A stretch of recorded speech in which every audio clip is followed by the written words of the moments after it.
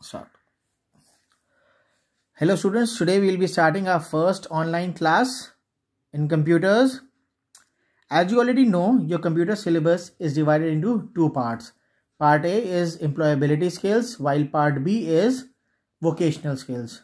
In our video lessons, first we will learn about the employability skills. That is part A of your syllabus.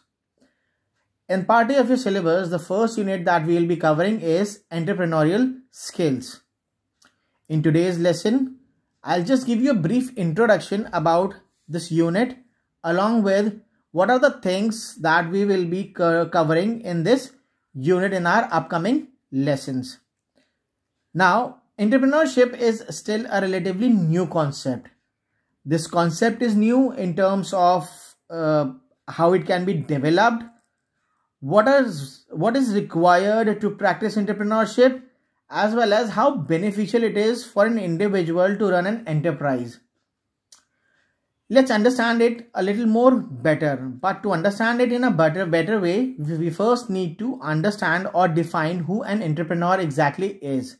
So as a definition that is given over here an entrepreneur is an individual who creates a new business bearing most of the risks and enjoying most of the rewards. An entrepreneur is generally seen as an innovator, a source of new ideas, goods, services, and business or procedures.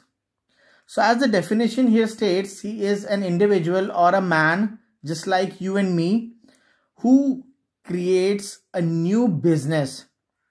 Now, as he is creating a new business, so there are certain risks that are associated with the business.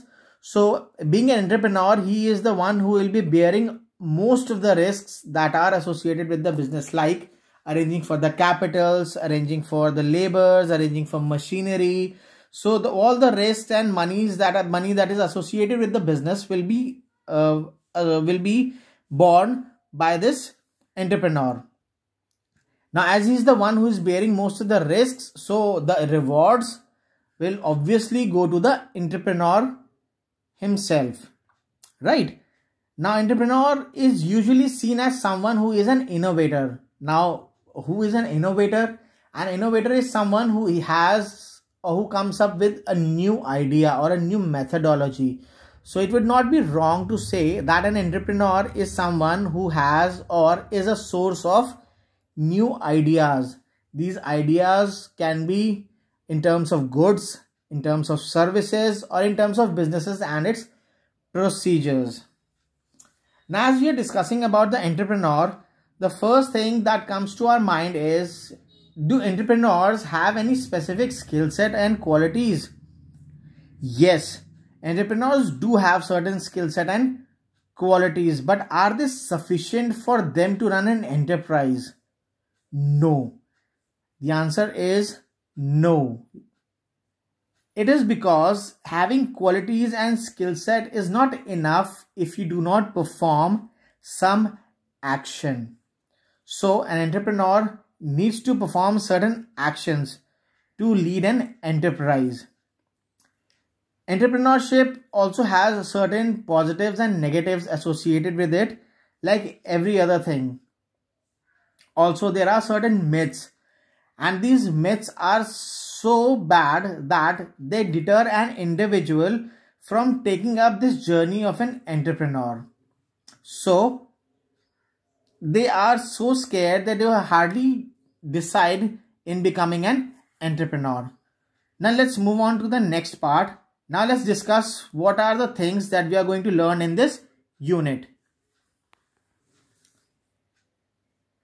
The things that we'll be covering in this unit are entrepreneurship and its impact on society, qualities of an entrepreneur, functions of an entrepreneur, roles of an entrepreneur, importance of an entrepreneur, myths of an entrepreneur, entrepreneurship as a career.